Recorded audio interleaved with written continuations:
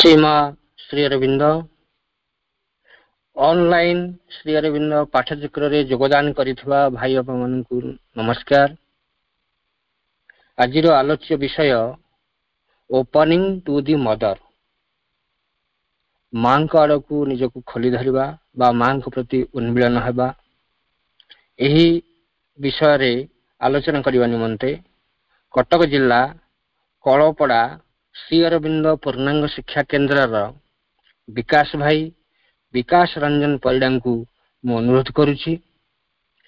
ବିକାଶ ଭାଇ ତାଙ୍କର ବକ୍ତବ୍ୟ ପ୍ରଦାନ କରନ୍ତୁ।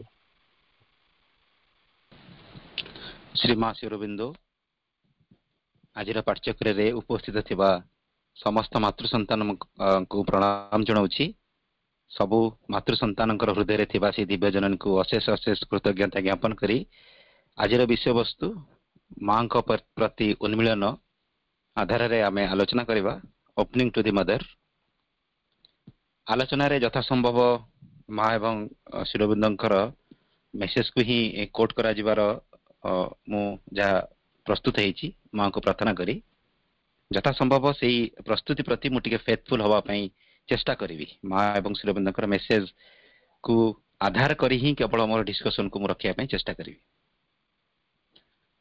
ଆଲୋଚନା ଆରମ୍ଭ ପୂର୍ବରୁ ପ୍ରଭୁ ଶ୍ରୀରବିନ୍ଦଙ୍କ ତରଫରୁ ଦିଆଯାଇଥିବା ଗୋଟେ ପ୍ରାର୍ଥନା ଆମେ ପଢ଼ିବା। ତାର ଉପରେ ଟିକେ ଧ୍ୟାନସ୍ଥ ହେବା ପାଇଁ ଚେଷ୍ଟା କରିବା। ପ୍ରାର୍ଥନାଟି ହେଉଛି Om Shri Aurobindo Mira open my mind my heart my life to your light your love your power in all things may I see the divine. Om Shri Aurobindo Mira ମୋର ମନ ମୋର ହୃଦୟ ମୋର ପ୍ରାଣ ତୁମରି ଆଲୋକ ତୁମରି ପ୍ରେମ ତୁମରି ଶକ୍ତି ପ୍ରତି ଯେପରି ଉନ୍ମିଳନ ଉନ୍ମିଳନ ଘଟୁ ପ୍ରତ୍ୟେକ ବସ୍ତୁରେ ଯେପରି ମୁଁ ସେ ଦିବ୍ୟ ପରମଙ୍କର ଦର୍ଶନ କରିପାରେ। ପ୍ରତ୍ୟେକ ବସ୍ତୁ ଏବଂ ପ୍ରତ୍ୟେକ ବ୍ୟକ୍ତିରେ ଭଗବାନଙ୍କୁ ଦର୍ଶନ କରିବା ମାଙ୍କ ଅନୁସାରେ ଏହା ହେଉଛି ଏକ ସୁପ୍ରିମ ଡିସ୍କଭରି ମା କହୁଛନ୍ତି I am in all things and in all beings it is man's mission to manifest it ପ୍ରତ୍ୟେକ ବସ୍ତୁ ପ୍ରତ୍ୟେକ ବ୍ୟକ୍ତି ମଧ୍ୟରେ ମୋର ଉପସ୍ଥିତି ରହିଅଛି। ଏହା ହେଉଛି ମାନବମାନଙ୍କର ଗୋଟିଏ ଜରୁରୀ କର୍ମ ମୋତେ ସେମାନଙ୍କ ମଧ୍ୟରେ ଆବିଷ୍କାର କରିବା ମାନିଫେଷ୍ଟ କରିବା ପରିପ୍ରକାଶ କରିବା। ତ ଏଇ ସୁପ୍ରିମ ଡିସ୍କଭରି କୁ ପ୍ରାପ୍ତ କରିବା ପାଇଁ ପ୍ରଭୁଙ୍କ ତରଫରୁ ଆମକୁ ଏ ପ୍ରେୟାରଟି ଦିଆଯାଇଛି। ବହୁତ ଶକ୍ତିଶାଳୀ ପ୍ରେୟାରଟି ଯାହା ପରମ କରୁଣାମୟ ଆମ ପାଇଁ ପ୍ରସ୍ତୁତ କରିଛନ୍ତି। Om Shri Aurobindo Mira open my mind my heart my life to your light your love your power in all things may I see the divine ଏ ଆଧାରରେ ଆମେ ସେ ଓପନିଂ ସମ୍ପର୍କରେ କ୍ଲାରିଟିର ସହିତ ବୁଝିବା ପାଇଁ ମା ଏବଂ ଶିରବିନ୍ଦଙ୍କର ମେସେଜର ଆଧାରରେ ଆମର ଆଲୋଚନାରେ ଆଗକୁ ବଢିବା। ମାଙ୍କୁ ପ୍ରଶ୍ନ କରାଗଲା how to get a pure and complete devotion ଏକ ଶୁଦ୍ଧ ଏବଂ ପରିପୂର୍ଣ୍ଣ ଭକ୍ତି ମୁଁ କେମିତି ପ୍ରାପ୍ତ କରିପାରିବି ମା ଉତ୍ତରରେ କହିଲେ ଗେଟ୍ କ୍ୱାଇଟ୍ ଫାଷ୍ଟ ପ୍ରଥମ ସର୍ତ୍ତଟି ହେଉଛି ତୁମକୁ ଶାନ୍ତ ହେବାକୁ ପଡ଼ିବ then from the quietude aspire and open yourself quietly and sincerely to the Mother ଏବଂ ସେହି ଶାନ୍ତ ଅବସ୍ଥା ମଧ୍ୟରେ ଫ୍ରମ୍ ଦ କ୍ୱାଇଟ୍ୟୁଡ୍ ଆସ୍ପେୟାର ଆସ୍ପୃହା କର ଏବଂ ନିଜକୁ ଶାନ୍ତ ଭାବରେ ନିଷ୍ଠାପର ଭାବରେ ମାଙ୍କ ଆଡ଼କୁ ଖୋଲି ଧର ଆଉ ମୁଁ ଟିକେ କ୍ଷମା ଚାହୁଁଛି ଏଇ ମେସେଜଟା ପ୍ରଭୁ ଶିରବନ୍ଦଙ୍କର ପ୍ରଭୁ କହୁଛନ୍ତି ନିଜକୁ ପ୍ରଥମେ ଶାନ୍ତ କର ଶାନ୍ତ ନିରବତା ମଧ୍ୟରେ ଆସ୍ପୃହାକୁ ଜାଗ୍ରତ କର ଏବଂ ମାଙ୍କର ଶକ୍ତି ପ୍ରତି ନିରବତାର ସହିତ ନିଷ୍ଠାର ସହିତ ନିଜକୁ ଖୋଲି ଧର ଧୀରେ ଧୀରେ ଧୀରେ ତୁମ ଭିତରେ ଶୁଦ୍ଧ ଏବଂ ପରିପୂର୍ଣ୍ଣ ଭକ୍ତିର ଜାଗ୍ରତ ଘଟିବ। ସେ ମାଙ୍କ ଆଡ଼କୁ ଯଦି ଆମେ ନିଜକୁ ଖୋଲି ଧରିଲୁ ଏବଂ ଆମ ଆସ୍ପୃହାକୁ ନିରବତାର ସହିତ ଧାରଣ କରି ରଖିଲୁ ଧୀରେ ଧୀରେ ଆମ ଭିତରେ ଶୁଦ୍ଧ ଏବଂ ପରିପୂର୍ଣ୍ଣ ଭକ୍ତି ସୃଷ୍ଟି ହେଇଯିବ ବୋଲି ପ୍ରଭୁ କହୁଛନ୍ତି। ପୁଣି ପ୍ରଭୁ କହିଲେ ଏଇ ଓପନିଂଟା ହେଉଛି ଯଥାର୍ଥରେ ଏକ ପରମ ସିଦ୍ଧ ଉପାୟ ବୋଲି କୁହାଯାଇପାରେ। ଏ ଯୋଗ ସିଦ୍ଧିର ଦୁଇଟି ସର୍ଭେ ପଥ ଅଛି। ପ୍ରଭୁ କହିଲେ a disclosure from within or a descent from above ଏଇ ଦୁଇଟି ଉପାୟ। ଯୋଉ ଦୁଇଟି ଉପାୟ ବହୁତ ସଫଳତାର ସହିତ ଆମର ସିଦ୍ଧ ଅବସ୍ଥାକୁ ଆମକୁ ନେଇପାରେ ଗୋଟିଏ ହେଉଛି ଉର୍ଦ୍ଧ୍ୱକୁ ନିଜକୁ ଖୋଲି ଧରିବା। ଏବଂ ନିଜକୁ ଉର୍ଦ୍ଧ୍ୱମୁଖୀ କରି ଖୋଲି ଧରିଲେ ମାଙ୍କ ଆଡ଼କୁ ନିଜକୁ ଖୋଲି ଧରିଲେ ଉର୍ଦ୍ଧ୍ୱରୁ ଶକ୍ତିଟି ଆମର ସତ୍ତା ମଧ୍ୟକୁ ଡିସେଣ୍ଡ କରିବାର ସ୍କୋପ୍ ପାଇବ। ଏବଂ ସେ ଡିସେଣ୍ଡ ଭିତରେ ଏଇ ଦୁଇଟି ଉପାୟ ଗୋଟେ ହେଉଛି ନିଜକୁ ମାତୃ ଚେତନା ଆଡ଼କୁ ଉନ୍ମିଳନ କରିବା ଏବଂ ସେଇ ଉନ୍ମିଳନ ଫଳରେ ଉର୍ଦ୍ଧ୍ୱରୁ ଯୋଉ ଅବତରଣଟି ଘଟେ ସେ ଅବତରଣ ଏବଂ ଉନ୍ମିଳନ ଦୁଇଟି ହେଉଛି ଯୋଗ ଶୁଦ୍ଧିର ଦୁଇଟି ପରମ ଉପାୟ ବୋଲି ପ୍ରଭୁ କହିଲେ। An effort of the external surface mind or emotions or tapasya of some kind may seem to uh, may uh, some of these uh, things to build off. ଏଇ କଥାଟି ମଧ୍ୟ ଯେ ଆମେ ଯଦି ସାଧାରଣ ମନ ମାଧ୍ୟମରେ ଆମର ଭାବ ମାଧ୍ୟମରେ ଗୋଟେ ପ୍ରକାର ତପସ୍ୟା ବି କରିବା ତାରି ଭିତରେ ମଧ୍ୟ ଯୋଗ ସିଦ୍ଧି ହେଇପାରେ। ଯଦି ମନରେ ଚିନ୍ତନ କରିବା ଶାସ୍ତ୍ର ଅଧ୍ୟୟନ କରିବା ଧ୍ୟାନ କରିବା ଭକ୍ତି ମାଧ୍ୟମରେ ମଧ୍ୟ କିଛି ଆଗକୁ ଯିବା ପାଇଁ ଚେଷ୍ଟା କରିବା ତପସ୍ୟା ମାଧ୍ୟମରେ ଆଗକୁ ଯିବା। ତପସ୍ୟା ମାନେ ନିଜର ସମସ୍ତ ଏନର୍ଜିକୁ କନସେନ୍ଟ୍ରେଟେଡ୍ ୱେରେ ଏକମୁଖୀ କରିକି ଦିବ୍ୟ ଚେତନା ପ୍ରାପ୍ତ କରିବାର ଯୋଉ ପ୍ରୟାସ ତାକୁ ତପସ୍ୟା କୁହାଯାଉଛି। ମା କହୁଛନ୍ତି ତପସ୍ୟା ମାନେ ଗୋଟେ କୁଚ୍ଛର ସାଧନାର ଅର୍ଥରେ ବୁଝିବ ନାହିଁ। ଏଇ ତପସ୍ୟା ମାଧ୍ୟମରେ ମଧ୍ୟ ଯୋଗ ସିଦ୍ଧି ହେଇପାରେ। ମନ ମାଧ୍ୟମରେ ଅଧ୍ୟୟନ ଧ୍ୟାନ ଏବଂ ଭକ୍ତି ମାଧ୍ୟମରେ ବି ଯୋଗ ସିଦ୍ଧି ହେଇପାରେ।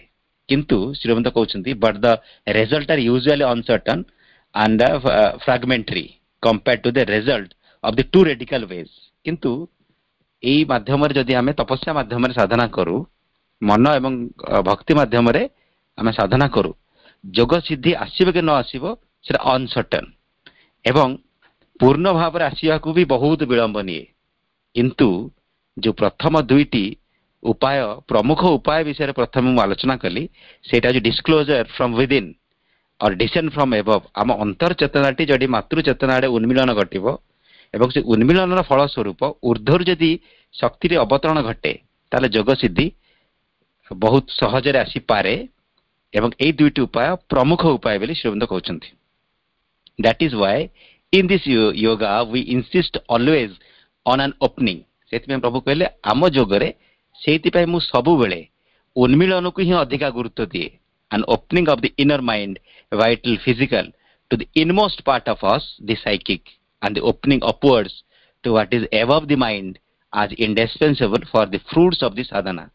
ପ୍ରଭୁ କହିଲେ ଏ ଦୁଇଟି ଓପନିଂ ହେବା ଦରକାର ଗୋଟିଏ ଓପନିଂ ତୁମର ବାହ୍ୟ ଚେତନା ଟୁ ଆରମ୍ଭ କରି ତୁମର ମାଇଣ୍ଡ ଭାଇଟାଲ ଫିଜିକାଲ ଟୁ ଆରମ୍ଭ କରି ତୁମର inner mind inner vital inner physical ବି ତୁମର ଇନମୋଷ୍ଟ ପାର୍ଟ ବା ଅନ୍ତରାତ୍ମା ପ୍ରତି ଯଦି ନିଜକୁ ଉନ୍ମିଳନ କରନ୍ତି ତା ସହିତ ତୁମର ଚେତନାଟି ଉର୍ଦ୍ଧ୍ୱରେ ଥିବା ସେଇ ଆତ୍ମା ପ୍ରତି ଯଦି ନିଜକୁ ଉନ୍ମୁକ୍ତ କରେ ଉନ୍ମିଳନ କରେ ନିଶ୍ଚିତ ଭାବରେ ତୁମର ଯୋଗ ସିଦ୍ଧି ଶୀଘ୍ର ଆସିପାରିବ ଏବଂ ଏଇ ଦୁଇଟି ଉପାୟ ଗୋଟେ ହେଉଛି ଅନ୍ତର ଚେତନା ପ୍ରତି ଉନ୍ମିଳନ ଆଉ ଗୋଟେ ହେଉଛି ଉର୍ଦ୍ଧ୍ୱତମ ଚେତନା ପରି ଉନ୍ମିଳନ ଏଇ ଦୁଇଟି ଇଣ୍ଡିସ୍ପେନ୍ସିବଲ ବୋଲି ଶ୍ରୀମନ୍ତ କହୁଛନ୍ତି। ଏକ ଅନିବାର୍ଯ୍ୟ ଉପାୟ ତୁମର ସାଧନାର କିଛି ଫଳ ପ୍ରାପ୍ତି ପାଇଁ।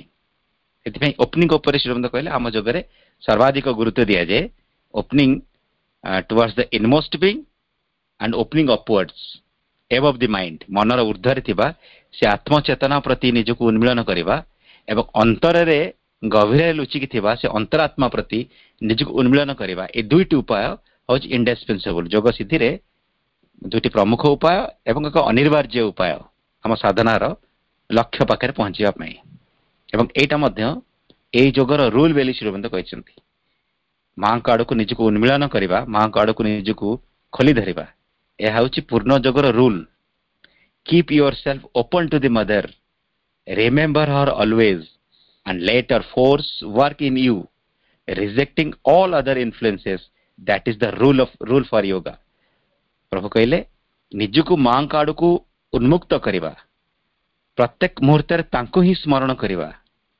ସ୍ମରଣ ମାଧ୍ୟମରେ ତାଙ୍କର ଶକ୍ତିକୁ ହିଁ ତୁମର ସାଧନାରେ ସହାୟକ ହେବା ପାଇଁ ଛାଡ଼ିଦେବା ଏବଂ ମାଙ୍କ ଛଡ଼ା ଆଉ ସମସ୍ତ ପ୍ରଭାବକୁ ତୁମ ଉପରେ ପ୍ରଭାବିତ ନ ହେବାକୁ ଦେଇ ସେ ସବୁକୁ ପ୍ରତ୍ୟାଖ୍ୟାନ କରିବା।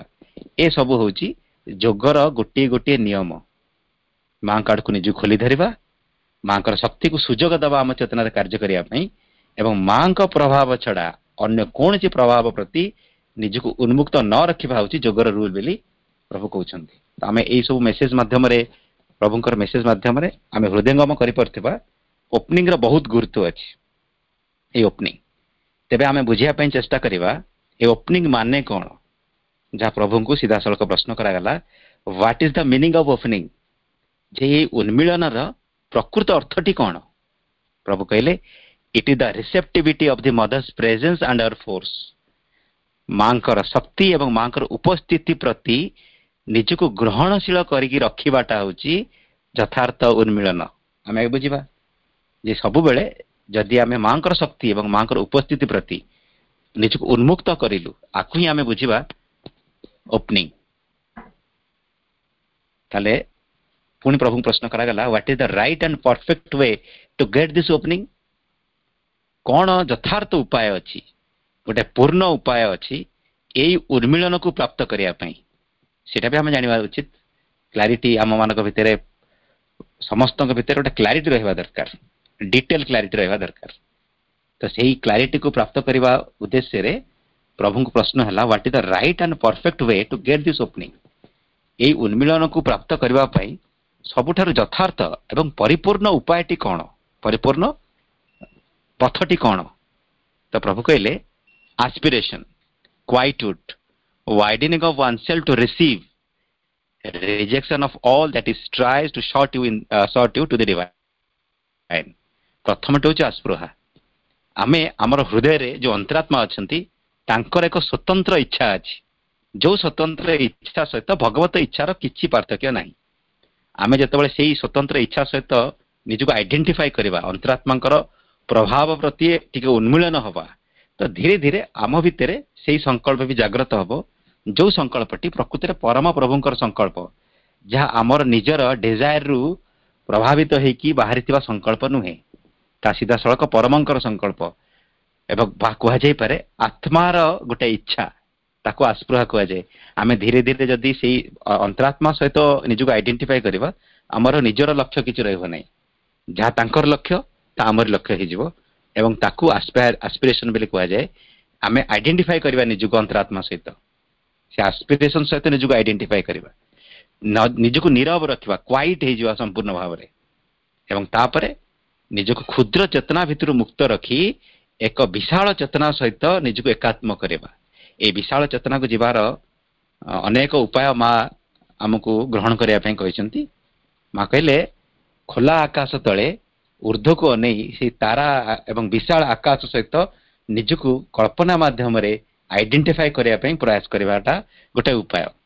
ଆଉ ଗୋଟେ ଉପାୟ ବିଷୟରେ ମା କହିଲେ ଯେ ଯେତେବେଳେ ତୁମେ କଳ୍ପନା କରିବ ସମୁଦ୍ର ଭିତରେ ତୁମେ ଭାସୁଛ ଧୀରେ ଧୀରେ ଧୀରେ ଧୀରେ ସମୁଦ୍ର ଚେତନା ସହିତ ନିଜକୁ ଏକାତ୍ମ କରିବ ଏବଂ ତୁମ କ୍ଷୁଦ୍ର ଚେତନାକୁ କଳ୍ପନା ମାଧ୍ୟମରେ ଆହୁରି ବିସ୍ତାର ବିସ୍ତାର କରି କରି କରି କରି ସମୁଦ୍ର ପ୍ରମାଣ ନିଜକୁ ବିସ୍ତାର କରିବାର ଗୋଟେ କଳ୍ପନା ଯଦି ପ୍ରତ୍ୟେକ ମୁହୂର୍ତ୍ତରେ ତୁମେ କର ତ ତୁମ ଚେତନାଟି ଧୀରେ ଧୀରେ ଧୀରେ ଧୀରେ ସୀମିତ କନସିୟସନେସ୍ ବାହାରିକି ଗୋଟେ ଭାଷ୍ଟ ବା ୱାଇଡ୍ କନସିୟସନେସ୍ରେ ନିଜକୁ ଆଇଡେଣ୍ଟିଫାଏ କରିପାରିବ। ଆଉ ଗୋଟେ ଉପାୟ ମା କହିଲେ କେବେ ବି ନିଜର ମତ ନିଜର ଚିନ୍ତା ଉପରେ ସର୍ବାଧିକ ଗୁରୁତ୍ୱ ଦିଅ ନାହିଁ। ଯାହା ସହିତ ତୁମର ମନମାଳିନ୍ୟ ଘଟୁଛି ତାହା ଦୃଷ୍ଟିକୋଣକୁ ବି ଯାଇକି କଥାଟିକୁ ବିଚାର କର। ତା ସ୍ଥାନରେ ଛିଡ଼ା ହେଇକି ମଧ୍ୟ ମ୍ୟାଟରଟିକୁ ଡିସାଇଡ୍ କରିବା ପାଇଁ ଚେଷ୍ଟା କର। ଦେଖିବ ଧୀରେ ଧୀରେ ତୁମର ଚିନ୍ତାଧାରା ତୁମର ଚେତନାଟି ଆଉ ସୀମିତ ଅହଙ୍କାରମୟ ଅବସ୍ଥାରେ ରହିବ ନାହିଁ। ଧୀରେ ଧୀରେ ସେ ଉନ୍ମୁକ୍ତ ହବ ଧୀରେ ଧୀରେ ବିଶାଳ ହେଇଯିବ ଏବଂ ସେ ବିଶାଳତା ଭିତରେ ହିଁ ଆମେ ଓପନିଂ ଆମ ଭିତରେ ଆସିବ। ତାପରେ ଆଉ ଗୋଟେ କଥା ଯାହା ଗୁରୁତ୍ୱପୂର୍ଣ୍ଣ ଆମମାନଙ୍କ ପାଇଁ ବେଳେ ବେଳେ ଏମିତି କିଛି କଥା ଆମ ଭିତରେ ରହିଯାଇଥାଏ ଯେଉଁଗୁଡ଼ିକ ମାତୃଚେତନାକୁ ଅପୋଜ କରେ। ଆମର ଭିତରେ ଆମର ଧର ଜେଲସ୍ ଫିଲିଂ ଅଛି ଡାଉଟ୍ ଅଛି ଗ୍ରିଡ୍ ଅଛି ଭ୍ୟାନିଟି ପ୍ରାଇଡ୍ ଏଇସବୁ ଜିନିଷ ଆରୋଗାନ୍ସ ଏଇସବୁ ଜିନିଷ ଯାହା ଯାହା ସବୁ ଇମ୍ପ୍ୟୁରିଟିଜ୍ ଅଛି ଆଳସ୍ୟ ତାମସିକତା ପରିବର୍ତ୍ତନ ବିମୁଖତା ମନର ଧାରଣା ଅଭିମତ ଅଭିରୁଚି ପ୍ରାଣର କାମନା ବାସନା ଦାବି କ୍ଷୁଦା ଉତ୍ତେଜନା ଉଚ୍ଚ ଆକାଂକ୍ଷା ଏ ସବୁ ଯାକ ଇନପରଫେକ୍ସନ୍ସ ଇଜ୍ ପ୍ରେଜେଣ୍ଟ ୱିଦିନ୍ ଆମ ଭିତରେ ଏଇ ସବୁ ଅପୂର୍ଣ୍ଣତା ଗୁଡ଼ିକ ରହିଛି ଯାହା ପ୍ରଭୁ ଡିଟେଲ ୱେରେ ମହାପୁସ୍ତକରେ ଆଲୋଚନା କରିଛନ୍ତି। ତ ସେଇ ଅପୂର୍ଣ୍ଣତା ଗୁଡ଼ିକୁ ଆମକୁ ପ୍ରତ୍ୟାଖ୍ୟାନ କରିବାକୁ ପଡ଼ିବ।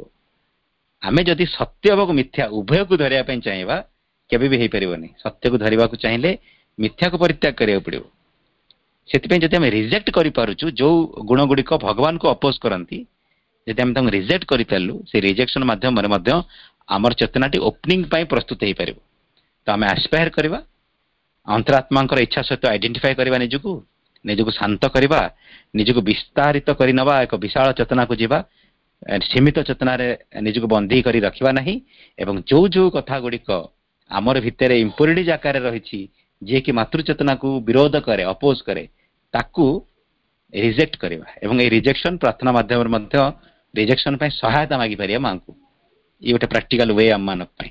ଯଦି ମୁଁ ରିଜେକ୍ଟ କରିପାରୁନି ତ ମୁଁ ମାଙ୍କର ନାମ ଜପ କରିବି ଏବଂ ସେ ଗୁଣଟିକୁ ମାଙ୍କୁ ରିପୋର୍ଟ କରିବି ଯେ ମା ଏଇ ଇନପୋରିଟିଜଟା ମୋ ଭିତରେ ଅଛି ଯାହାକି ମୋତେ ବାଧା ସୃଷ୍ଟି କରୁଛି।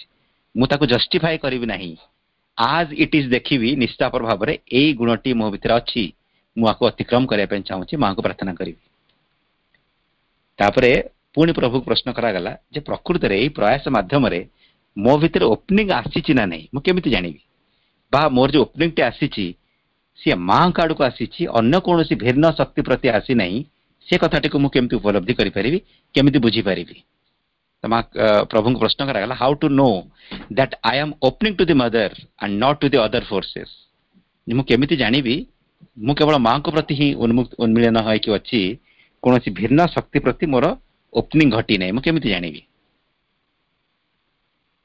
प्रभु कहले you have to be vigilant तुमको सबुबले सतर्क दृष्टि रखिकी अपेक्षा करने पड़ो देखा पड़ो तुम एक खामखियाली मेकानिकाल लाइफ बंचले हम ना ସବୁ ଜୀବନର ପ୍ରତ୍ୟେକ ପ୍ରତିକ୍ରିୟାକୁ ସତର୍କ ଦୃଷ୍ଟି ରଖିଥିବ ଯଦି ସେ ସତର୍କ ଦୃଷ୍ଟି ଭିତରେ କୌଣସି ଡିଷ୍ଟର୍ବାନ୍ସ ତୁମେ ଫିଲ୍ କଲ ଯେ ତୁମ ଚେତନା ଭିତରେ କିଛି ନା କିଛି ଗୋଟେ ଡିଷ୍ଟର୍ବ ମେଟେରିଆଲ ରହିଛି ମନ ସ୍ତରରେ ହଉ ପ୍ରାଣ ସ୍ତରରେ ହଉ ଇମୋସନ ଟିକେ ଡିଷ୍ଟର୍ବ ହଉଛି ମନ ଟିକେ ଡିଷ୍ଟର୍ବ ହଉଛି କୌଣସି କାରଣକୁ ନେଇକି।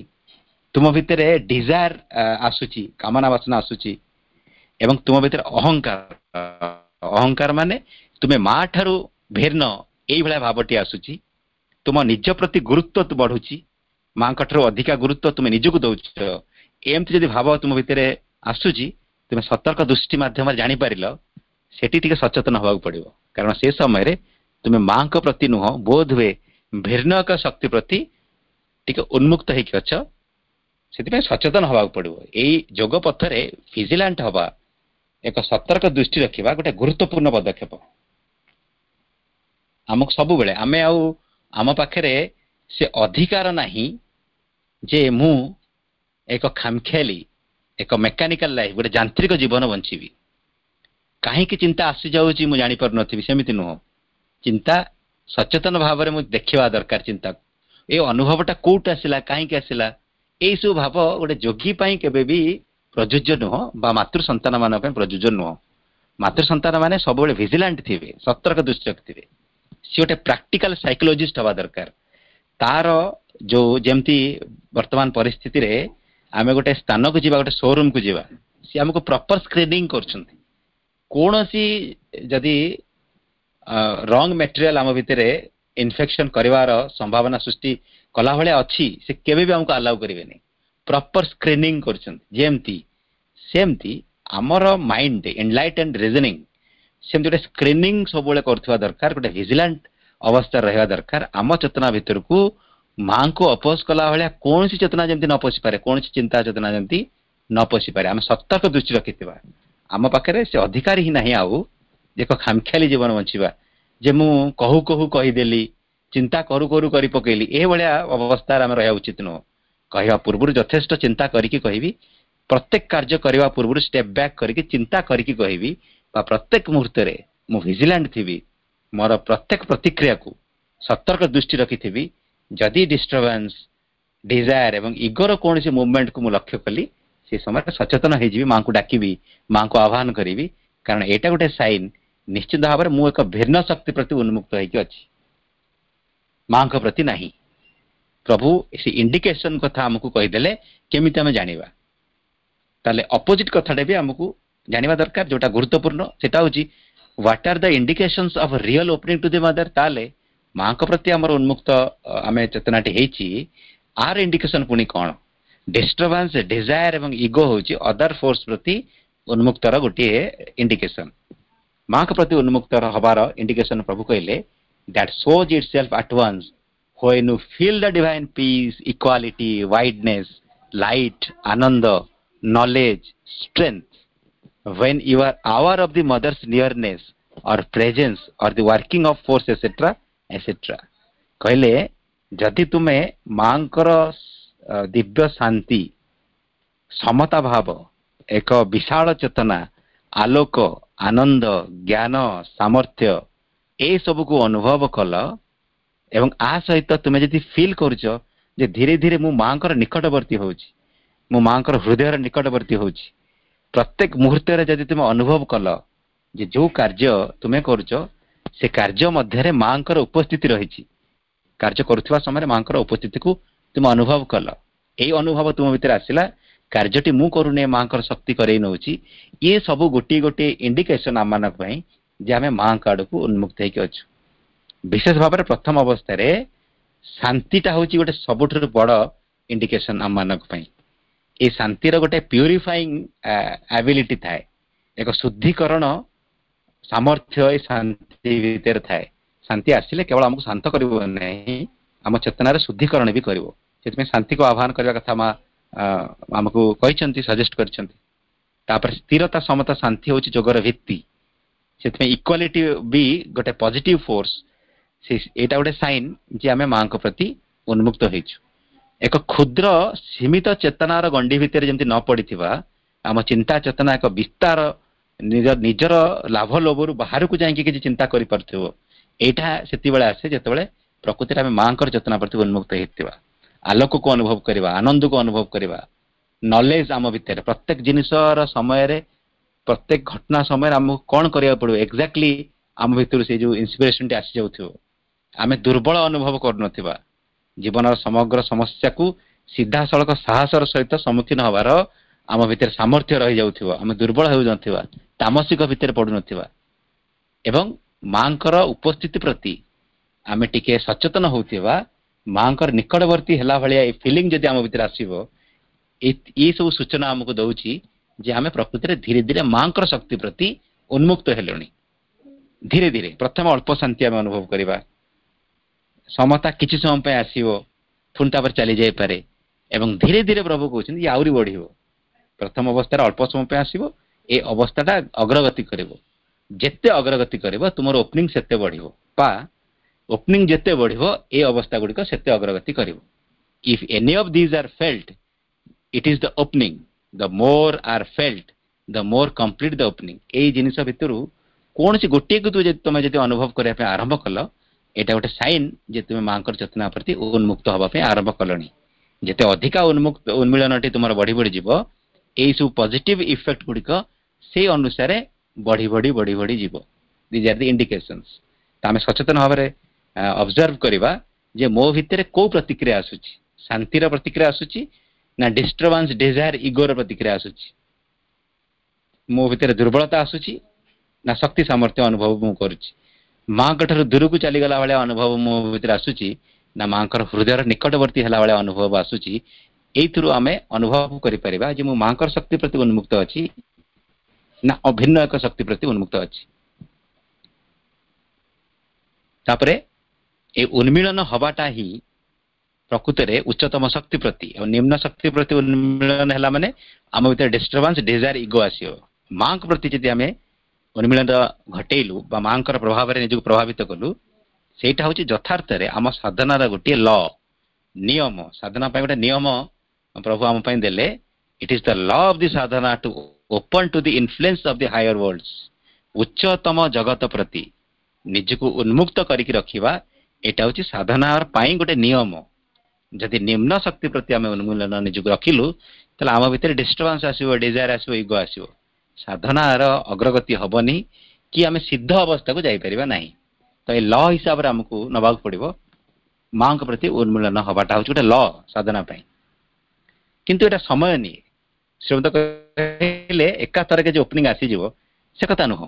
It takes time to open all the parts fully ତମ ଚେତନାର ପ୍ରତ୍ୟେକ ଅଂଶ ପ୍ରତ୍ୟେକ ସତ୍ତା ପରିପୂର୍ଣ୍ଣ ଭାବରେ ମାଙ୍କ ପ୍ରତି ଉନ୍ମିଳନ ହେବେ ଆ ପାଇଁ ସମୟ ଲାଗିପାରେ।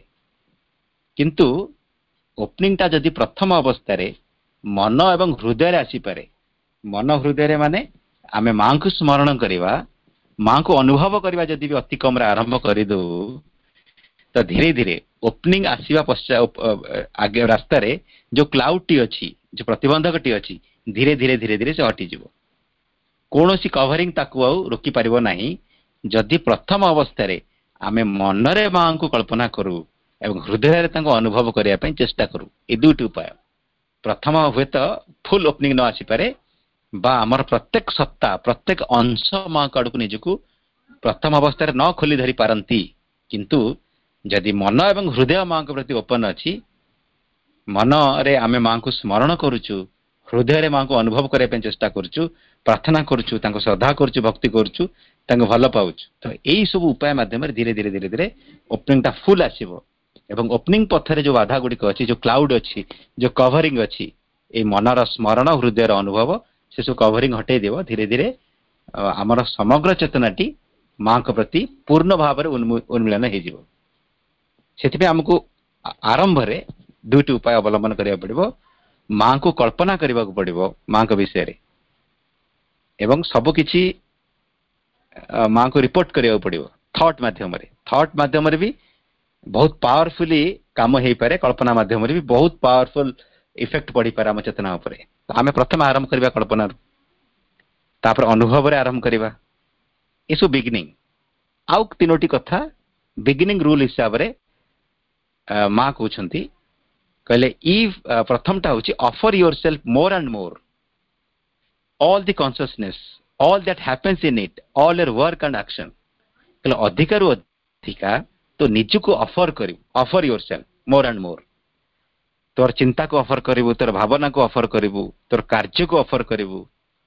ଯାହା ଯାହା ମାନେ ତୋ ଜୀବନରେ ଘଟୁଛି ସବୁ ମାଙ୍କୁ ରିପୋର୍ଟ କରିବୁ। ଆମେ ମାଙ୍କୁ ସବୁ ଜଣେଇବା।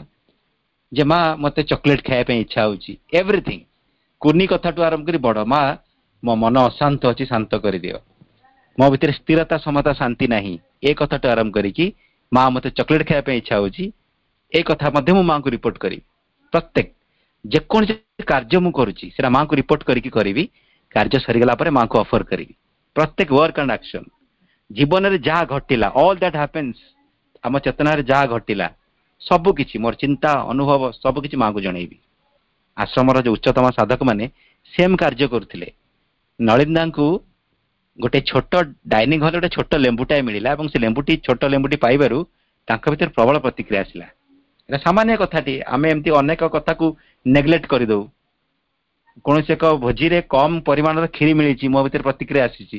ମୁଁ ସେ କଥାଟିକୁ ମାଆକୁ ରିପୋର୍ଟ କରିଛି କି ମୁଁ ଗୋଟେ କାଜୁଆଲ ଆଟିଚ୍ୟୁଡରେ ଭାବିଛି ନାଇଁ ନାଇଁ ଏଇଟା ମାଆକୁ କ'ଣ ମୁଁ ଜଣେଇବି? କିନ୍ତୁ ନଳିନ୍ଦା ପୁରା ସଚେତନ ଥିଲେ। ସିଏ ଛୋଟିଆ କଥାଟିକୁ ବି ଶିରବିନ୍ଦୁଙ୍କୁ ଏକ ଦୀର୍ଘ ପତ୍ର ମାଧ୍ୟମରେ ରିପୋର୍ଟ କଲେ। ତାଙ୍କ ଭିତରେ କ'ଣ କ'ଣ ସବୁ ପ୍ରତିକ୍ରିୟା ଆସିଥିଲା? କହିଲେ ପ୍ରଭୁ ଗୋଟେ କଂସେଇ ପରି ଏଇ ପ୍ରତିକ୍ରିୟାକୁ ତୁମେ କାଟିକି ବାହାର କରିଦିଅ। ଶ୍ରୀମନ୍ତ କହୁଛନ୍ତି ନିଶ୍ଚିନ୍ତ ମୁଁ ବାହାର କରିବି କିନ୍ତୁ କଂସେଇ ପରି ନୁହେଁ ଗୋଟେ ସର୍ଜନର ନାଇଫ୍ ୟୁଜ୍ କରିକି ମୁଁ ବାହାର କରିବି। କାରଣ ସେ ରିପୋର୍ଟ କଲେ ଆମକୁ ସେମିତି ରିପୋର୍ଟ କରିବାକୁ ପଡ଼ିବ। ଜୀବନର ପ୍ରତ୍ୟେକ କାର୍ଯ୍ୟ ଚେତନା ଭିତରର ପ୍ରତ୍ୟେକ ପ୍ରତିକ୍ରିୟା ସ୍ପନ୍ଦନକୁ ମାଙ୍କୁ ରିପୋର୍ଟ କରିବାକୁ ପଡ଼ିବ। ତାପରେ ଯଦି ତୁମ ଭିତରେ କିଛି ଫଲ୍ଟ ଏବଂ ୱିକନେସ୍ ଅଛି ତ ସେ ସବୁ କିଛିକୁ ମାଙ୍କ ଆଡ଼େ ଖୋଲିକି ଧରିବାକୁ ଧରିକି ଦେଖେଇବାକୁ ପଡ଼ିବ ଖୋଲିକି ଯେ ମା ମୋ ଭିତରେ ଏଇଟା ଅଛି।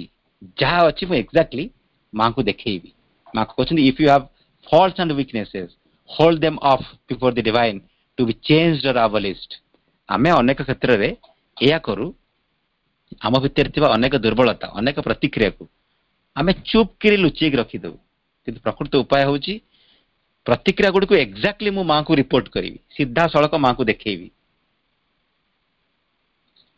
ଯେ ମା ଏଇଟା ଅଛି ମା କହୁଛନ୍ତି ମାଙ୍କର ଅନ୍ୟ ମେସେଜ ବି ଗୋଟିଏ ଅଛି। କହିବ ହେ ପ୍ରଭୁ ଦେଖ କଥାଟି ଏମିତି ଅଛି। ସିଧାସଳଖ ଦେଖ ମା ମୋର ଏଇ ବସ୍ତୁ ପ୍ରତି ଆସକ୍ତି ଅଛି। ଦେଖ ମା ମୁଁ ଏଇ ବ୍ୟକ୍ତିକୁ ଦେଖିଲେ ବିରକ୍ତ ଲାଗୁଛି। ଦେଖ ମା ଏଇ ବ୍ୟକ୍ତିକୁ ଦେଖିଲେ ମୋତେ ଈର୍ଷା ଲାଗୁଛି। ଯାହା ଯାହା ମୋର ଦୁର୍ବଳତା ଅଛି ଯାହା ଫଲ୍ଟ ଅଛି ସବୁକିଛି ସିଧାସଳଖ ମୁଁ ମାଙ୍କ ଆଗରେ ରିପୋର୍ଟ କରିବି ମାଙ୍କୁ ଖୋଲିକି ଦେଖେଇବି। ଦେଖ ମା ଏଇସବୁ ଜିନିଷ ଅଛି। ମୁଁ କେବେ ବି ଲୁଚେଇବି ନାହିଁ କେବେ ବି ଗୋଟେ ହିପୋକ୍ରାଟ ହେବି ନାହିଁ। ସରଳ ଶିଶୁ ପରି ମୁଁ ଯେମିତି ସେମିତି ହେବି। ମା କହିଲେ ତୁମେ କିନ୍ତୁ କ'ଣ କର? ତୁମେ ସେଗୁଡାକ ସବୁ ଲୁଚେଇ ଦେଇକି ଗୋଟେ କୁନି କ୍ଷୁଦ୍ର ସାଧୁଟିଏ ହେଇକି ମୋ ପାଖକୁ ଆସ। ଧଳା ସାର୍ଟ ପ୍ୟାଣ୍ଟ ପିନ୍ଧି ବଢିଆ ପରିଷ୍କାର ପରିଚ୍ଛନ୍ନ ଚନ୍ଦନ ସେଣ୍ଟ ଲଗେଇ ମୋ ସାମ୍ନାକୁ ଆସିବ ଯେ ମା ମୁଁ କେଡ଼େ ସୁନ୍ଦର ପିଲାଟିଏ। କିନ୍ତୁ ସେଥିରେ ମୋର କ'ଣ ଇଏ ଅଛି? ତୁମର ଓପନିଂ ପାଇଁ ତୁମର କାମ ହଉଛି ତୁମର ଚେତନାରେ ଥିବା ପ୍ରତ୍ୟେକ ଫଲ୍ଟ ପ୍ରତ୍ୟେକ ୱିକନେସକୁ ମୋ ଆଗରେ ଉନ୍ମୁକ୍ତ କରିକି ମୋତେ ଦେଖେଇବ। ଦେଖ ମା ମୁଁ ତୋ ପାଖକୁ ଆସିଛି ମୋର ଚେତନା ଭିତରେ କେତେ ଅପରିଷ୍କାର ଜିନିଷ ଅଛି। ଆକୁ ଦେଖ ଆକୁ ମୋ ଚେତନା ମଧ୍ୟରୁ ପରିଷ୍କାର କରିଦେ। ମା କ'ଣ କରିବେ? ତାକୁ ଚେଞ୍ଜ କରିବେ ନହେଲେ ଆବଲିଶ କରିଦେବେ। ଆବଶ୍ୟକ ପଡ଼ିଲେ ତାକୁ ପରିବର୍ତ୍ତନ କରିଦେବେ। ନହେଲେ ଚେତନାରୁ ସମ୍ପୂର୍ଣ୍ଣ ଭାବରେ ପରିଷ୍କାର କରିଦେବେ। ସେଥିପାଇଁ ଆମକୁ ଦେଖେଇବାକୁ ପଡିବ ମାଙ୍କୁ ତାପରେ ଶେଷ ଉପାୟଟି ହେଲା try to do that I told you concentrate in the heart till you constantly feel the presence there ନିଜର ହୃଦ କେନ୍ଦ୍ରରେ ସବୁବେଳେ ଏକାଗ୍ର ହ ଏଇ କଥାଟି ମୁଁ ତତେ ପୂର୍ବରୁ ବି କହିଥିଲି ଏବେ ବି କହୁଛି। ହୃଦ କେନ୍ଦ୍ରରେ ସେ ପର୍ଯ୍ୟନ୍ତ ଏକାଗ୍ର ହେଇଚାଲ ଯେପର୍ଯ୍ୟନ୍ତ ନିରନ୍ତର ଭାବରେ ଗୋଟେ ଦିବ୍ୟ ଉପସ୍ଥିତିକୁ ତୁ ସେଠି ଅନୁଭବ ନ କରିଛୁ। ଏଇଠି ଗୋଟେ ବଢିଆ ଉପାୟ। ଏ କଥାଟି ପ୍ରଭୁ ଶ୍ରୀରବନ୍ତ ଲେଟର୍ସ ମଧ୍ୟ କହିଛନ୍ତି। ଆମ ହୃଦ କେନ୍ଦ୍ରରେ ଆମର ବକ୍ଷର ମଧ୍ୟସ୍ଥଳରେ ଯୋଉଠି ଇମୋସନାଲ ସେଣ୍ଟର ଅଛି ଠିକ ତା ପଛପଟକୁ ସାଇକିକ ସେଣ୍ଟର ଅଛି। ତ ସେଇ ସାଇକିକ ସେଣ୍ଟର ଉପରେ ଆମେ ସବୁବେଳେ ଏକାଗ୍ର ହବା। ହୃଦ କେନ୍ଦ୍ରରେ ଏକାଗ୍ର ହବା। ଏକାଗ୍ର ହେଇ ହେଇ କିଛି ଦିନ ପରେ ଆମେ ସେଇ ସ୍ଥାନରେ ମାଙ୍କର ଉପସ୍ଥିତିକୁ ଅନୁଭବ କରିବା ତ ଏଠି ମା କହୁଛନ୍ତି ଯେପର୍ଯ୍ୟନ୍ତ ସେଇ ସ୍ଥାନରେ ତୁ ଉପସ୍ଥିତିକୁ ଅନୁଭବ ନ କରିଛୁ ସେ ପର୍ଯ୍ୟନ୍ତ ଏଇ ଏକାଗ୍ରତାର ଅଭ୍ୟାସକୁ କଣ୍ଟିନ୍ୟୁ କରୁଥିବୁ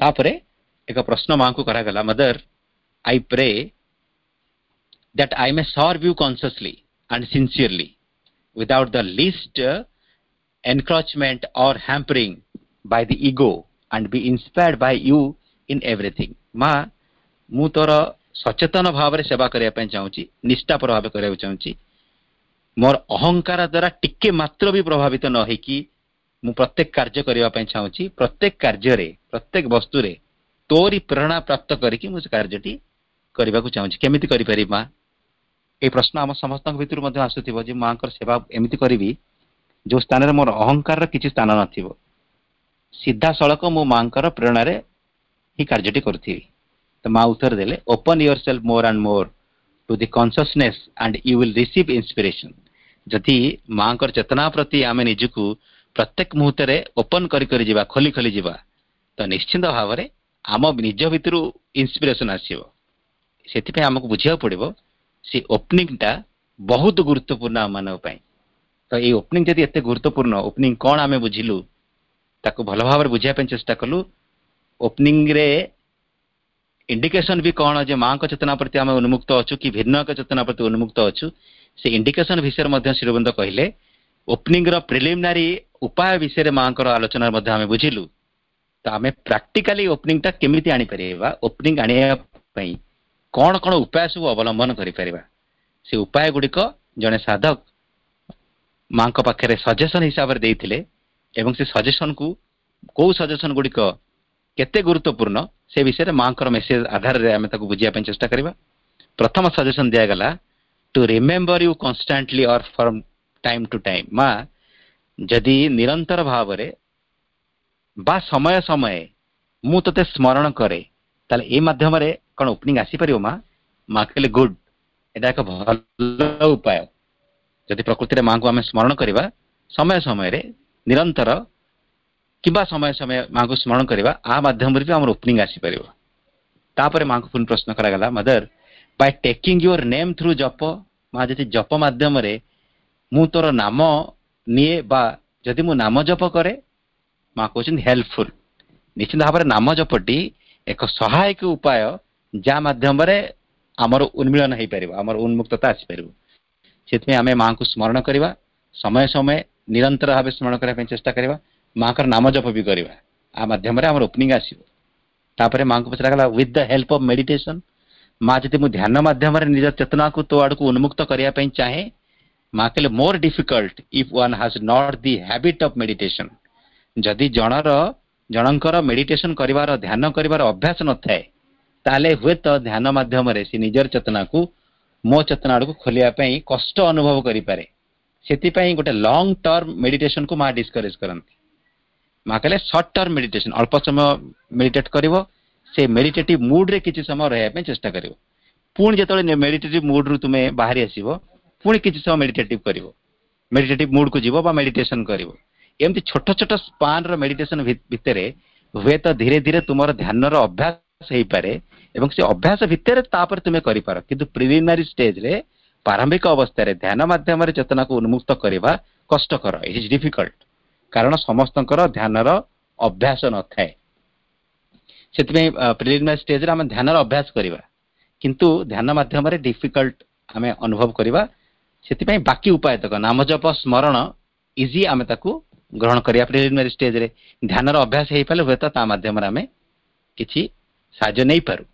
ତାପରେ ଗୋଟେ ଗୁରୁତ୍ୱପୂର୍ଣ୍ଣ ପ୍ରଶ୍ନ ମାଙ୍କୁ ପଚରାଗଲା by conversation about you with those who love and respect you ମା ଯୋଉମାନେ ତୁମକୁ ଭଲ ପାଆନ୍ତି ଯୋଉମାନେ ତୁମକୁ ସମ୍ମାନ ଦିଅନ୍ତି ତାଙ୍କ ସହିତ ଯଦି ମୁଁ ତୁମ ବିଷୟରେ ଆଲୋଚନା ପର୍ଯ୍ୟାଲୋଚନା କରେ ଆ ମଧ୍ୟରେ ଉନ୍ମୁକ୍ତତା ଆସିପାରିବ କି ଉନ୍ମିଳନ ଆସିପାରିବ କି ମା କହୁଛନ୍ତି risky because when talking upon some nonsense or at least some non uh, at least some useless things can be said.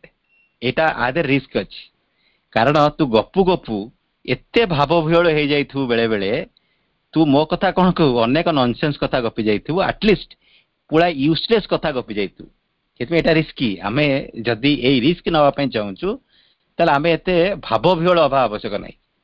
ଆମେ ନିଜର ଇମ୍ପଲ୍ସ ଭାଇଟାଲ ଇମ୍ପଲ୍ସକୁ ମେଣ୍ଟାଲ ଭାଇବ୍ରେସନକୁ ମେଣ୍ଟାଲ ରିଆକ୍ସନକୁ ସବୁବେଳେ କଣ୍ଟ୍ରୋଲରେ ରଖିବା। ଯଦି ପୁରା ସ୍ଥିରତା ସମତା ଶାନ୍ତି ଭିତରେ ମାଙ୍କର ସ୍ମରଣ ସହିତ ମାଙ୍କ ସହିତ ଆଇଡେଣ୍ଟିଫାଏ ହବାର ଅଭ୍ୟାସ ଆମର ଥାଏ କଥା କହିବା ସମୟରେ ମାଙ୍କର କଥା ଆଲୋଚନା କରିବା ସମୟରେ। ଯଦି ମୋର ମନ ସେ ସମୟରେ ଶାନ୍ତ ରହିଥାଏ ମୋର ପ୍ରାଣ ସେ ସମୟରେ ଶାନ୍ତ ରହିଥାଏ ଚିନ୍ତାରେ ମାଙ୍କର ସ୍ମରଣ ଥାଏ ମାଙ୍କୁ ପ୍ରାର୍ଥନା ପୂର୍ବକ ମୁଁ କହୁଥାଏ ହୁଏତ ମୁଁ ଅଲଗା କୌଣସି ଶକ୍ତିର ପ୍ରଭାବରେ ପ୍ରଭାବିତ ହେଇପାରିବି ନାହିଁ ସିଧାସଳଖ ମାଙ୍କ ପ୍ରେରଣାରେ ମାଙ୍କର କଥା ହିଁ କହିପାରୁଥିବି। ଦ୍ୟାଟ୍ ଇଜ୍ ଓକେ କିନ୍ତୁ ଯେତେବେଳେ ଏଇ ଅବସ୍ଥା ଆମର ନଥିବ ଆମେ ଆମର ପ୍ରାଣ ଏବଂ ମନ ସହିତ ଆଇଡେଣ୍ଟିଫାଏ ହେଇକି ଏକ୍ସାଇଟମେଣ୍ଟରେ ଇମ୍ପଲ୍ସରେ ଭାସିଗଲୁ ତ ସେଇ ଜାଗାରେ ମା କହୁଛନ୍ତି ଏଇଟା ରିସ୍କ ହେଇଯିବ ତୁ କଥା କହୁ ଅନେକ ନନସେନ୍ସ ୟୁଜଲେସ୍ କଥା ଭଳିଆ ଗପି ଦେଇଥିବୁ ତ ଏଇଟା ରିସ୍କି ତାପରେ ବାଇ ରିଡିଂ ୟୋର ବୁକ୍ସ ମା ଯଦି ମୁଁ ତୁମର ପୁସ୍ତକ ଅଧ୍ୟୟନ କରେ ଏଇଟା ବି ଗୋଟେ କ'ଣ ଉପାୟ ହେଇପାରେ ମା କହିଲେ ଗୁଡ୍ ଏଇଟା ବି ଗୋଟେ ଭଲ ଉପାୟ ଆମେ ପୁସ୍ତକ ଅଧ୍ୟୟନ କରିବା ତାପରେ ଗୋଟେ ଉପାୟ by spending time in thought of you ଦୁଇଟି କଥା remember you constantly from time to time ଆମେ ପଢିଥିଲୁ ଚାକୁ ମା କହିଥିଲେ ଗୁଡ୍ ଏଠି ଆଉ ଗୋଟେ ଉପାୟ by spending time in thought of you ଆ ଭିତରେ କ'ଣ ପାର୍ଥକ୍ୟ? ରିମେମ୍ବର କରିବା ଏବଂ ମାଙ୍କ ଚିନ୍ତାରେ ସମୟ କଟେଇବା ଆ ଭିତରେ ପାର୍ଥକ୍ୟ ହେଉଛି ଚିନ୍ତାରେ ସମୟ କଟେଇବା ମାନେ ମୁଁ ଖାଉଛି ମୁଁ ଭାବୁଥିବି ମା ମୋ ସହିତ ଖାଉଛନ୍ତି। ମୁଁ ଗାଧଉଛି ମୁଁ ଭାବିବି ମା ବି ମୋ ସହିତ ଗାଧଉଛନ୍ତି। ମୁଁ ଦାନ୍ତ ଘଷୁଛି ମୁଁ ଦାନ୍ତ ଘଷୁନି ମୁଁ ମାଙ୍କର ଦାନ୍ତକୁ ଘଷୁଛି। ଆ ମାନେ spending time in thought of you ମାଙ୍କର ଚିନ୍ତାରେ ସମୟ ଅତିବାହିତ କରିବା। ଯୋଉ କଥାଟିକି ମା ଉଦାରଜୀଙ୍କୁ କହିଥିଲେ ଦାନ୍ତ ଘଷୁଥିବା ସମୟରେ ଅନୁଭବ କରିବୁ ତୁ ନୁହଁ ମୁଁ ଘଷୁଛି। ଖାଇବା ସମୟରେ ଅନୁଭବ କରିବୁ ତୋ ଭିତରେ ମୁଁ ଖାଉଛି। କାମ କରୁଥିବା ସମୟରେ ଅନୁଭବ କରିବୁ ତୋ ଭିତରେ ମୁଁ କାର୍ଯ୍ୟଟି କରୁଛି।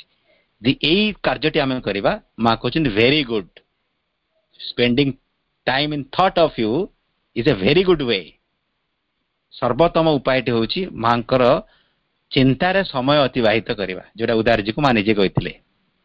ତାପରେ ବାଇ ସିନ୍ସିୟର ପ୍ରେୟାର ମା ଯଦି ମୁଁ ନିଷ୍ଠାପର ଭାବେ ପ୍ରାର୍ଥନା ତୁମକୁ କରେ ମା କହିଲେ it is also good good by sincere prayer ମା କହିଲେ ଗୁଡ୍ ଆମେ ଦେଖିବା ଯୋଉ ଗୁଡ୍ ଉପାୟ ଗୁଡ଼ିକ ହେଲା ତାହା ହେଉଛି remembrance constant remembrance or time to time remembrance reading books ଏବଂ ସିନସିୟର ପ୍ରେୟାର ଏ ତିନୋଟି ହେଉଛି ଗୁଡ୍ ଏବଂ ହେଲ୍ପଫୁଲ୍ ହେଉଛି ନାମ ଜପ ନାମ ଜପ ସାହାଯ୍ୟକାରୀ ଉପାୟ ଯାହା ମାଧ୍ୟମରେ ଆମ ଚେତନାଟି ମାଙ୍କର ଚେତନାଟିକୁ ଖୋଲିଯିବ। ମେଡିଟେସନ ହେଉଛି difficult conversation about the mother is risky ଏବଂ ଭେରି ଗୁଡ୍ ହେଉଛି by spending time in thought of the mother ମାଙ୍କର ଚିନ୍ତାରେ ଯଦି ଆମେ ସମୟ ଅତିବାହିତ କହିଲୁ ଏଇଟା ହେଉଛି ସର୍ବୋତ୍ତମ ଉପାୟ। ଏବଂ ଏଇ କନଷ୍ଟାଣ୍ଟ ରିମେମ୍ବରାନ୍ସ କଥା ମା କହୁଛନ୍ତି ପ୍ରଭୁ ଶ୍ରୀରବିନ୍ଦ କହୁଛନ୍ତି ଯେ କନଷ୍ଟାଣ୍ଟ ରିମେମ୍ବରାନ୍ସ ମାଧ୍ୟମରେ it is by the constant remembrance that the being is prepared for full opening ଏଇ ନିରନ୍ତର ସ୍ମରଣ ମାଧ୍ୟମରେ ଆମର ସତ୍ତାଟି ପରିପୂର୍ଣ୍ଣ ଉନ୍ମିଳନ ଅବସ୍ଥାକୁ ଚାଲି ଯାଇପାରିବ ପ୍ରସ୍ତୁତ ହେଇଯାଇପାରିବ। By the opening of the heart to the mother's presence begins to be felt ଏବଂ ଯେତେବେଳେ ତୁମର ହୃଦୟଟି ଏଇ ନିରନ୍ତର ସ୍ମରଣ ମାଧ୍ୟମରେ ଖୋଲିଯିବ ତୁମେ ଧୀରେ ଧୀରେ ହୃଦୟରେ ମାଙ୍କର ଉପସ୍ଥିତିକୁ ଅନୁଭବ କରିବା ପାଇଁ ଆରମ୍ଭ କରିବ।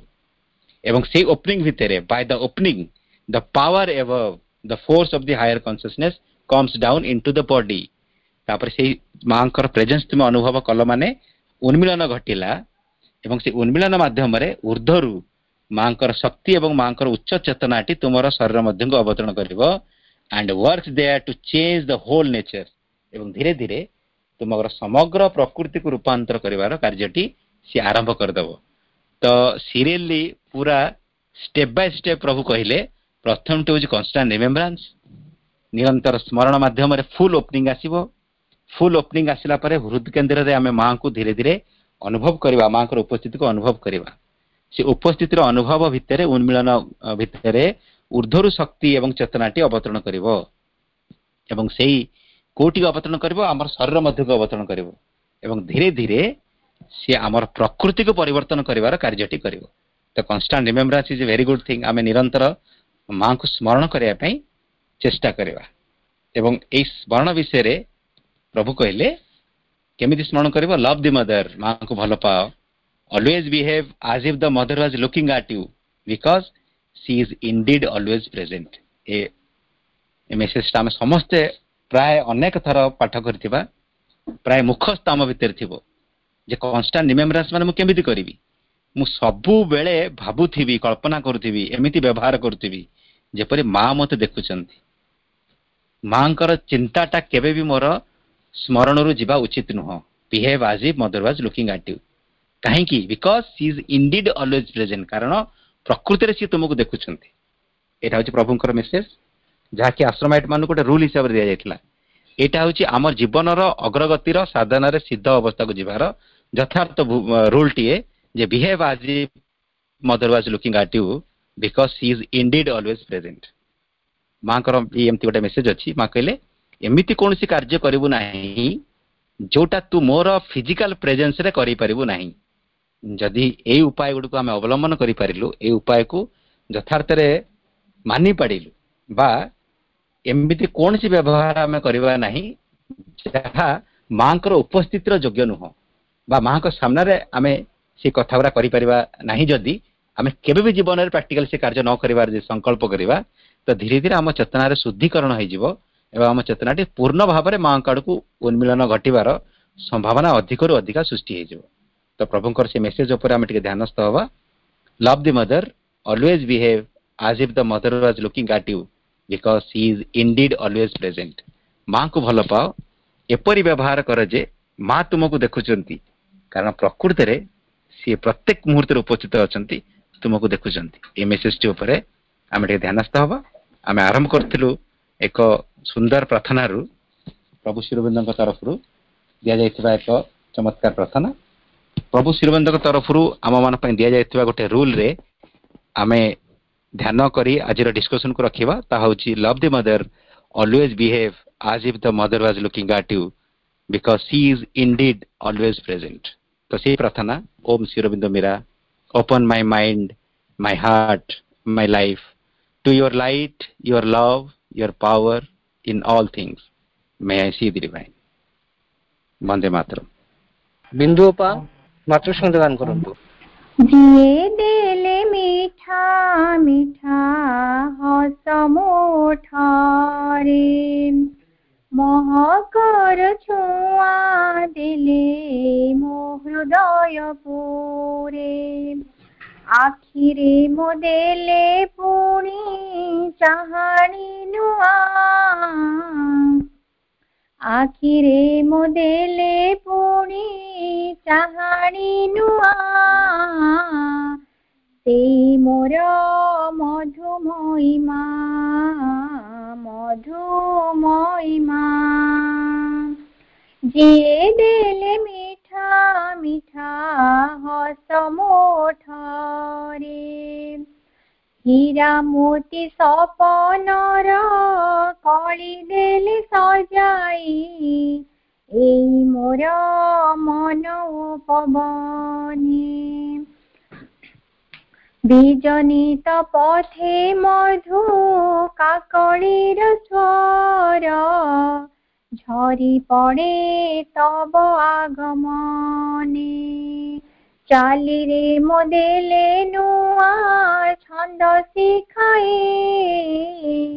চালিরে মোদেলে নুয়া ছন্দ শিখাই মা মোর কেড়ে মধুময়ী কেড়ে মধুময়ী। जिए दिल मीठा मीठा हो समोठारे হাতৰ জৰি মোৰ খোজে পাদ পৰস বিভূষিত হে বসে ৰেণুৰে লুহৰ চিতুৱা নৈ বহু জানি দেখ જોઈને બસે પદો તની રે জীবন বংশী মো তোড়ে রাগিণীনু জীবন বংশী মো তোড়ে রাগিণীনু সেই মোর মধুময়ী মা মধুময়ী মা যিয়ে দেলে মিঠা মিঠা হস মহকৰ মহকৰ ছোঁয়া দেলে মো হৃদয় পৰে আখিৰে মো দেলে পুণি চাহানি সেই মোৰ মধুময়ী মা মধুময়ী মা। ମଧୁମୟୀ ମା ମଧୁମୟୀ ମା ସେଇ ମୋର ମଧୁମୟୀ ମା ମଧୁମୟୀ ମା ମା ବର୍ତ୍ତମାନ ଗୋଟିଏ ମିନିଟ ମାଙ୍କ ନାମ ଜପ କରିବା ସହିତ ଆଜିର ପାଠଚକ୍ରକୁ ସମାପ୍ତ କରିବା ମା ମା ମା ମା ମା ମା ମା ମା ମା ମା ମା ମା ମା ମା ମା ମା